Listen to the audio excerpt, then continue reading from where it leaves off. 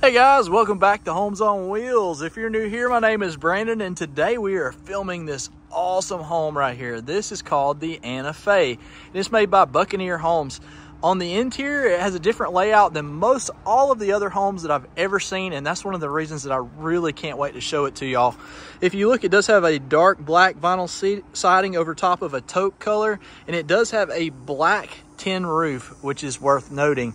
The front door is not just a cheap looking door. This is one that has a window that goes from top to bottom almost, which lets in a ton of natural light. Let's go ahead and step inside though and show y'all around. There again, this is one of the homes that are just now getting put in place. And man, it is nice, guys. This is unlike any of the other homes that we have filmed. And the price point is phenomenal. We're gonna tell you all the price at the end of it.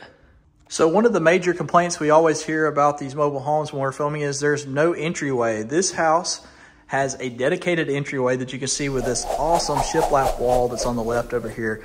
I like the fact that it's black because it sticks out and it's such a different take on things than most of the homes. You can also see this barnwood look, this beam that goes up and over the top. I'm gonna get a little bit closer where y'all can see it. This is real wood and I love the way that it looks aged. It's a different styling than the rough sawn look that we've seen in other homes. This entryway though would be great. You could put a bench over there. There is a plug set up over there where if you needed to put a lamp or a table or something, it would be easy access. And it is just its own separate little entryway. And to the right of the entryway when you walk in would be where your dining area would be. So you can see they've got a light fixture hanging right there. There's multiple can lights all through the kitchen that's over there. And it's just a massive spot for a dining room table. You do have a bar to the side. There's two windows that open over here that would be right behind the dining room table. This home does have finished sheetrock too. The bar area has a window that does not open right here. That would be a good picturesque window, especially if you were on a lakeside or something like that to be able to look out over the water. You could put a coffee bar here, maybe a margarita machine, whatever you wanted to. There again, they still have the rubber bands on the drawers, so I can't open them up all the way, but they are well-built cabinets with that marble style countertop. This has kind of a wood back behind it on the wall right here, which is different. Over here, you have a brick look behind the stove, and that is really nice, guys. It's not a cheap looking like paneling either. I, am not sure what type of material that is, but it looks like real brick. The hood range over the top is black where it matches the accent walls in the home. And some of the trim in this home is even black. This home does have Frigidaire stainless steel appliances. And there, here's a large door. This one doesn't have rubber band on it. Let's open it up where y'all can take a look in there. Nice big drawer right there, guys. Lots of cabinet space in this home though, and that's a big deal. You've got multiple switches right here. I imagine one of them's gonna be for your fan. One of them's gonna be for that overhead can lighting that you can see in the ceiling. Worth mentioning, the heating and air conditioning in this home is in the ceiling.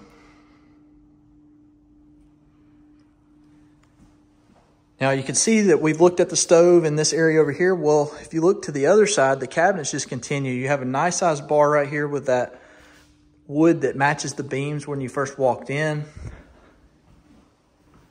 It looks like you can almost move that island around, which is nice. Yes, you can. That is an island that could be moved back and forth. I really like that a lot. The light fixtures are nice in this home as well. And you have subway tile over here behind the sink. So you can see you got a nice Frigidaire dishwasher. The subway tile continues around it. You do have open shelving above your sink. This is a single basin sink. And you can see right down the certificate of product quality right in the bottom of the sink right there. Lots of outlets all the way through around the kitchen so all of your gadgets can be plugged in without a problem. This island, though, is just kind of talking to me. Let's open up these drawers. That's nice, guys. I really, really like the layout of this home, though.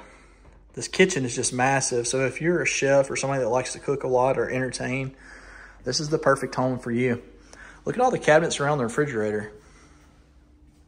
I don't know what you would even put in there. Now to the door that's to the left of the refrigerator is going to be the laundry room slash pantry. Now check this out. I guess this would be technically considered a butler's pantry maybe. A lot of room all the way around in here. I mean, this is more cabinets in the pantry than we have in our whole house. you do have floating shelves in here as well that are industrial styled, which is pretty cool to me. I like that industrial style look. That wood look that was behind the bar in the dining room area continues in here. Let's see what kind of shelves are in here. Oh yeah, I'm a tall guy. I have a hard time reaching that top shelf up there. You'd almost need a step ladder in here. Now, once you step out of the pantry right here and turn to the left, you can look on into where the laundry room is going to be. But look right here. Look at this privacy. This is something that you don't see on a lot of these homes. I'm going to shut this door for y'all to take a look at it. Look at that door, guys. That is an awesome door. And the black trim around it really makes the wood pop. I just really like this house. I, I don't know why out of most of the ones that I filmed lately, I feel like they started to blend together and this one just really sticks out. So in the laundry room, you do have a sink. I know this is a huge deal for a lot of people and it is a deep sink. It looks like it's gonna be around 12 to 16 inches deep. You do have a separate faucet over there for rinsing stuff off. You do have cabinets above where your washer and dryer can go. You can see your hookups right there. To the right side, you have plugs over there and that would be perfect for a deep freeze. I like the fact that they even have this rod up here for you to hang your clothes on that you may be working on right above the washer and dryer. So here is your rear exterior door as well as your breaker panel. And this house, guys, just continues to wow. I can't wait till y'all see the master bedroom here in a second. If y'all are new to the channel, be sure that you're subscribed as we're making our way through the house you don't want to miss our future tours. Today we are in Troy, Alabama. And this is about three hours south of where we live. We are at Smith Manufactured Housing. So you be sure to check their information out in the comments below. Now check out this living room, guys. I know we've already spent five minutes just between the kitchen and the laundry room and the pantry, but it was all worth showcasing. I really, really like this living room though because of the tray pan ceilings. You can take a look up at those. There are can lights in here, a nice ceiling fan, and I love the fact that they have that black fireplace. There is an electric fireplace in this home. You can see it has five flame settings, LED control. Just makes it super easy where if you don't want to have to deal with firewood, you don't have to worry about it. Really nice size mantle above it. Obviously it's set up for your TV right up here. I'm gonna try to give y'all a bit of a perspective of the size. Let me get right over here and give you a little bit of a pan shot. That is just a massive living room. It really gives you kind of a separation point between you and where the kitchen sink is and maybe all the loud noise from the clanking of the dishes and stuff, which is nice, but you still have that open feel too. Let's go ahead and take a look at the bedrooms and see what they look like. You can see right here, it does have the Ecobee thermostat. That will be controlled from your smartphone if you want it to be. Always handy if you're a little bit hot or a little bit cold. Nowadays, you don't even have to get up off the couch. Just go to the app on your smartphone and take care of it from the couch. Here's the first guest bedroom. There again, they're still staging, so there's carpet and pad and stuff like that laid in here, as well as doors. This is a good sized bedroom too, guys. Got two big windows over there to the left. And instead of having those six panel doors, I like the way that these doors are shaped. They look more of a craftsman style. Take a look at the closet. Does have a wire shelf in here, however, that would be something that could be easily replaced. Each room does have a smoke detector in it, as you see. And I like the fact that it has like that one by four siding for or molding because it just makes it look more farmy. If you look down at the floor, I didn't mention this before, but through the whole home is this linoleum style flooring that looks like hardwood. This is a durable type of flooring that will last for many years to come. Here's a single piece shower unit right here with a large bathtub in it. The single piece is such a, such a huge deal too because it keeps and helps you prevent from leaks in the future.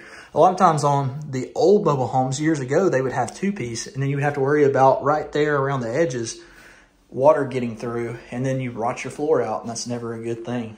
You can see your toilet and your vanity there as well. Here's your heat and air exchange. You can tell by the vent that's in the side of it. Let y'all take a look in there. And you can see they've screwed sheetrock to the back of the door right here to allow for some dampening of the sounds coming from that area. Here's your hot water heater, and that is a nice big Rheem hot water heater. So at the end right here is going to be the master, but before it on the right is your second guest bedroom or office or whatever you may use it for. And this house has decent sized bedrooms to have all of that nice big living area out there. Go ahead and pan around for y'all to take a look. And this bedroom does have a walk-in closet. And it's a decent sized closet, guys. Really, really like this home so far. Let's take a look at the master. The bathroom is a wow factor in here. And then once we get out of the master and the, the uh, master bathroom, we'll go talk about the price. This is a very large room. You have plenty of room for a king size bed wherever you want to put it. I would probably put it over here on this wall if it were me. You have two big windows right here. You can see your ceiling fan and can lights continue in here as well. That seems to be a really big feature on homes nowadays is the can lighting. And here is the master closet. And this is a nice size closet, guys. Big, big closet. I don't think you would ever need any more room than that. Now let's go take a look at the master bathroom. And this is impressive, guys. You can see right away that, that bathtub is a focal point, but we're gonna wait till we get there. The shiplap color does continue in here, but they went back white. And I think because of the bathroom being not as wide open, that that's a good thing that they did because if it was black, it would make it seem a little bit smaller. It is a nice big double vanity area though, so plenty of room for his and hers. The can lights continue in here. Look, one, two, three, four, five can lights just right there. And you do have two large windows on the back side of this bathtub. A lot of people are like, I don't like the windows by the bathtub. Well, that's what curtains or blinds are for. I personally don't have neighbors on the back side of our house, so I would love to see that against a wooded area where I could look out while I was enjoying the bath. I'd have to kick my wife out first though, because I know she would be in there with a bottle of wine. You do have open shelving on this side. And here is your potty closet, AKA where your toilet is. And this is a nice one. It kind of goes around the turn right here to get to it. And let's talk about the shower. You do have a large shower in here that is tiled with that barnwood look. You do have a nice big shower head up there. You can see when I step in here, your controls are gonna be over here to the right. And overall, just a very nice home. Let's go take a look now at the price. And I really, really think y'all are gonna be shocked at the price when we get there.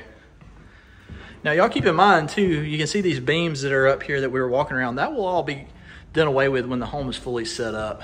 So those awkward beams will be out of the way.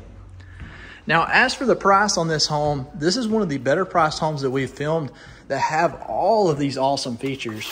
You can look right here and see 160,000 plus tax at 1,856 square feet. That's really hard to beat, guys. If y'all will though, click right up here on this box and follow us into our next home tour.